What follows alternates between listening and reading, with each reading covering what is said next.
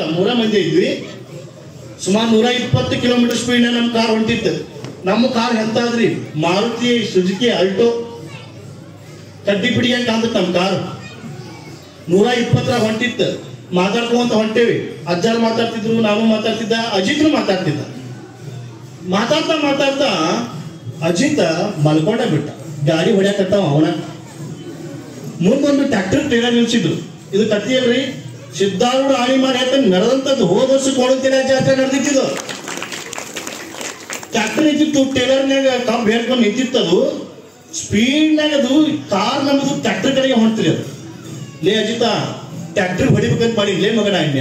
ಹಾಶಿ ಮಾಡ್ತಿದ್ದ ನನಗೆ ಸಣ್ಣ ಅವ.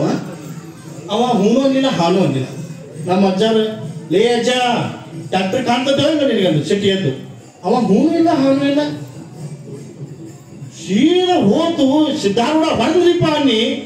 ಅದ್ರ ಏನ್ ತಿಳಿತೀವಿ ನಮ್ಮ ಹತ್ರ ಕಾನ್ಸ್ಟೇಬಲ್ ಹಿಂಗೆ ಜಾಕ್ಬಿಟ್ರು ಕಾರ್ ಮೂರ್ ರೌಂಡ್ ಹೊರಗ್ ನಿಂತ್ರಿ ರೋಡ್ನ್ಯಾಗ ದಪ್ಪನ ಎದ್ದಂತ ಅಜಿತ ತಾ ಹಿಂಗ್ ತಿರುಗ್ತಾದ್ರ ಅವನ್ಯಾಗ ಹಿಕ್ಕ ತಿರುಗಿದ ಮತ್ತ.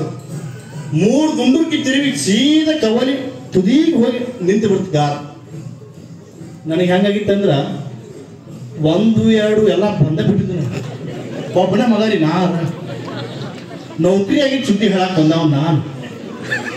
ಕೈಕಾಲು ತಣ್ಣಗಾದು ಗಂಟ್ಲು ಹರಿತು ಸುಮ್ಮನೆ ಯಾರು ರೋಡ್ನ್ಯಾಗ ಯಪ್ಪ ಅನ್ಯ. ನಾ ಯಾಕೆ ಬಂದು ಮರ ಈ ಕಡೆ ಅನ್ಸಿಟ್ಟಂಗೆ